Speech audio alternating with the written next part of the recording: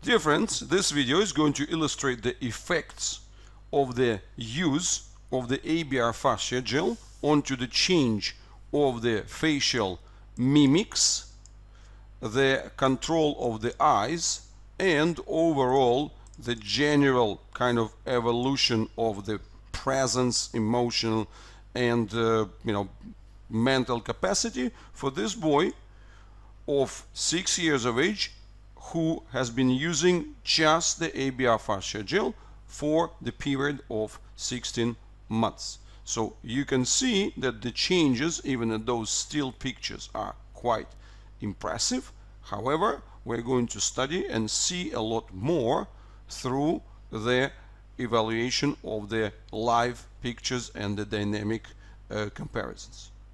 And of course, that means that the structural components related to the fascia, right? And we get back to the point the fascia controls the muscles, tendons, and ligaments, as could be seen on those illustrations. So the big deal for us is to address the link that defines the way how the muscle is able to get shifted in respect to the skin and that is defined by the quality of that mesh, the fabric, the mechanical fat, the mechanical loose areolar fascia that connects it, you know, connects the fascia of the skin with the fascia of the muscle.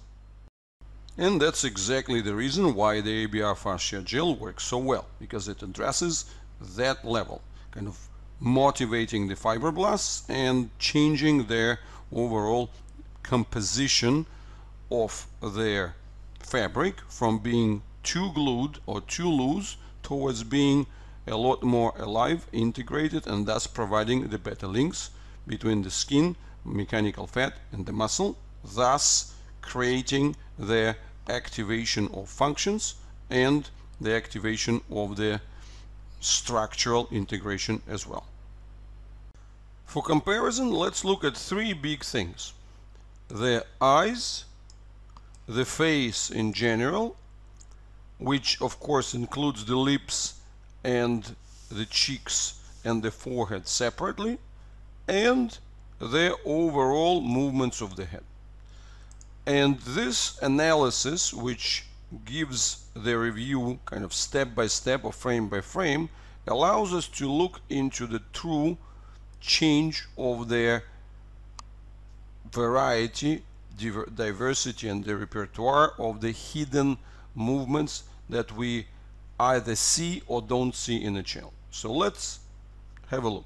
So this on the left is the picture before the start with the ABR fascia gel. And what we are seeing here see the frames are changing. And what happens? The boy keeps having the same face expression. So he changes it a little bit right? So you see like this is the start one two three four five six seven eight nine. And then there's a little bit of a change of the facial expression.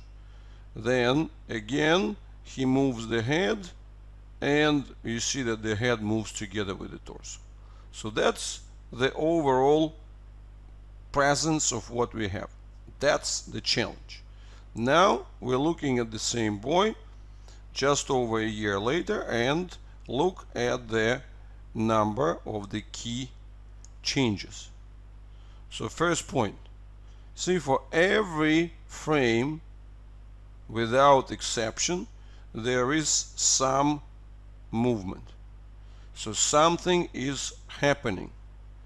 The lips are changing, the cheeks are changing, the smile is coming, every step is meaningful. And then what else do you start seeing? The second part the engagement of the eyes. See, the eye balls are moving separately. And this is really a very informative thing. You can see the movement of the eyeballs and then the formation of more complex positions with the lips and then again the eyes move selectively See here, the face expression, the lips position, the kind of stare through the eyes always stays the same. See here that's a close-up view which shows you that every single frame illustrates the change in the position of the eyes. See, those are the things which are happening in the background, these micro movements which are actually showing the good quality stability. And why is this happening? Well, because in the situation before, that separate articulation of the circle of the lips, extended circle of the lips, extended circle of the cheeks, the, chi the chin circle, the orbital circles, the big, the medial, and the very small ones. So they are not active. So the separation of the temporal and the forehead areas, they are not apart. Why is that? This is where we get back to our key pictures, which are illustrating that link between the skin and the muscle. So, in the situation of the poor link, there are two types of challenges why they either it gets too glued or it gets too loose but then of course depending on the situation this is what we have described as the dynamic fascia challenges so either too loose or too watery or too stiff or too fibrous and then all the cases in between so but in those scenarios if the fascia connections are poor then the muscles have to kind of fuse and get their singular performance. So they can't perform in this selective fashion. So as we improve the fascia connections, then the muscles free up. So that's really a very simple link. And you can see it as the activation of the orbits versus the lack of the stability. And again, you see, this is the clear eye movement and a lot of the face expressions. And now he has those types of movements which are really combining everything. You can see the eyes are separately controlled, the cheeks are separately controlled, and he gets very precise movements of the head, and everything then comes with the emotional expression. And you see, that's of course the key. If the boy is able to express himself with the diversity, with the specifics, that of course creates the positive loop for the development of the entire combination or that kind of exchange. He has the ability to express himself. If he has the ability to express himself, then you know it then there is a reason to get engaged. And you can really see very rich emotional engagement. Now, besides of this, the rich emotional engagement translates into another set of important things. Because here, if we look at him without the glasses, what's the story? The same thing. He lacks any specific expressions as he moves the head you can see that he tries to deliver a bit of a smile but the upper part of the face remains expressionless. This is not just one episode. This is actually happening elsewhere. As we can see right so you see the part where he can track a stick with the eyes is very very limited then he moves the entire head together. Another view and it shows us again the same expression. Another view, the same expression, tiny micro smile, but, but when he does the micro smile, you can see that the lazy eye floats.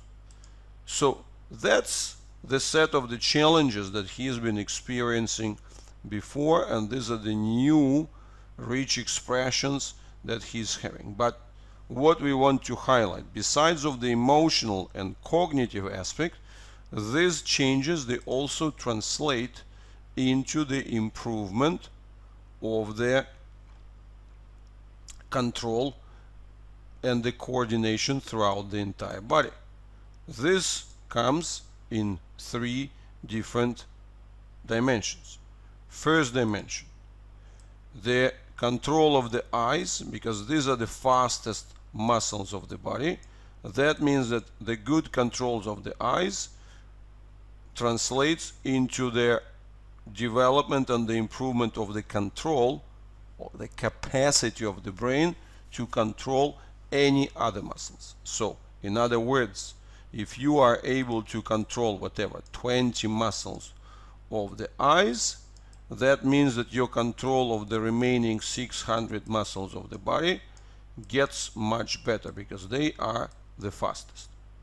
The second thing is that of course as the person is able to express himself specifically that also means that the overall control of the muscle tone improves because he could express himself. Otherwise he would be doing all sorts of just primitive movements and the total body movements or run around kind of without a purpose flap flap with his hands and do all this kind of typical things. And the third part as you can see here is that that much more specific control of the head that's also a big part of the coordination because that's the really the illustration of the head control that gives you the ability to deliver the much better stability of the body, much better stability, counterbalancing of the torso, control of the legs and so on. So all these components, as you can see, they are coming just via their additional simple contribution that has been brought by the ABR fascia gel and this massive changes in the personality of and life of this channel that have been brought by this super simple routine. So in fact, once you understand the conceptual base,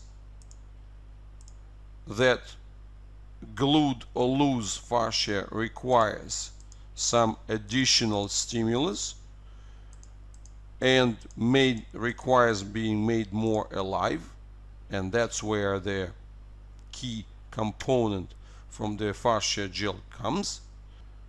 And the second thing to understand is yes indeed the application of the fascia gel is easy. That's the easiest possible thing that could be done. Like twice a day you apply it in those designated areas so where you experience the greatest gluing so the face is the best illustration but it's not the only place where we would be using it but you can see this change most vividly because a similar change at the spine is not so visible because you know the muscles there are larger so the visibility is not so clear. But with the face we can really see it extremely well. So I'm encouraging you to take this message seriously and actually I'm happy to share this very simple and very informative comparison which is a case of a pure experiment where this is the child who came just with the complaints about the kind of lazy eyes, lazy face expression, some kind of discomfort in his bowels and so on. But was never really looking for doing the ABR exercises. So whatever we achieved here has been the result of the pure work, you know, actually pure applications of the ABR fascia gel and you've been seeing how much of the cascades effect it has brought to this channel. So with that smile, it's a kind of positive message to you.